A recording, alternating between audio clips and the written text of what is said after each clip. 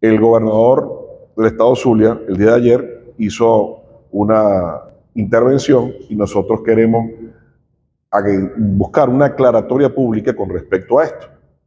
La eh, ex alcaldesa de Maracaibo, en ese momento en funciones, Evelyn Trejo de Rosales, emite un decreto donde le colocan a esa importante vía el nombre de, lo leo textualmente como está en el decreto 166 del año 2017, dice Avenida Paul René Moreno Camacho.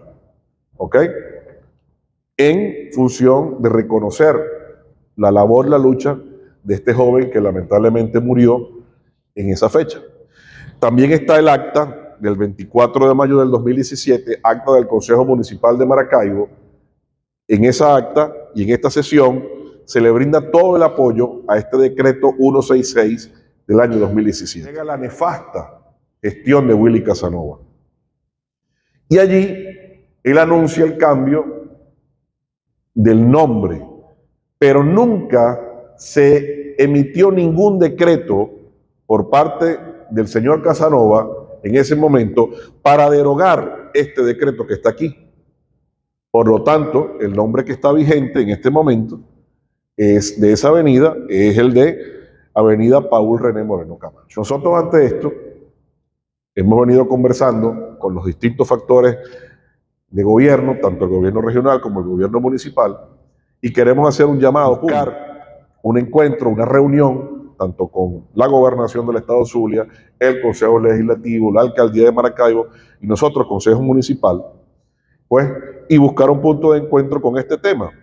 Porque creo que aquí lo más importante es la calidad de vida que le estamos brindando a los ciudadanos, pero también reconocer la labor y la lucha de un joven como Paul René Moreno Camacho.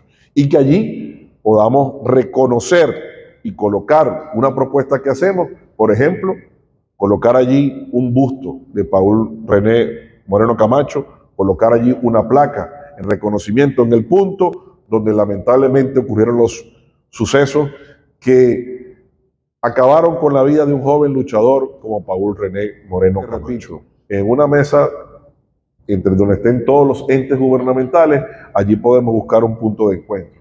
¿okay? Esto no es un tema de nombre, esto es un tema de punto de encuentro y reconocer a Paul Romero, a Paul Moreno, perdón, a Paul Moreno como un joven luchador.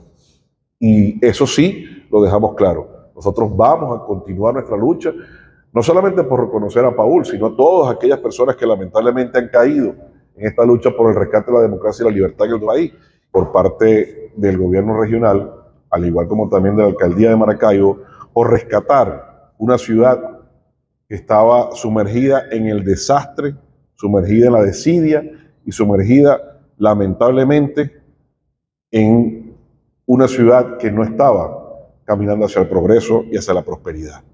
Por eso nosotros somos responsables y de verdad vemos con buenos ojos la inversión y el esfuerzo que se viene haciendo por parte de la gobernación del Estado Zulia y la alcaldía de Maracaibo para trabajar en función de mejorar la calidad de vida de cada uno de los ciudadanos del municipio Maracaibo.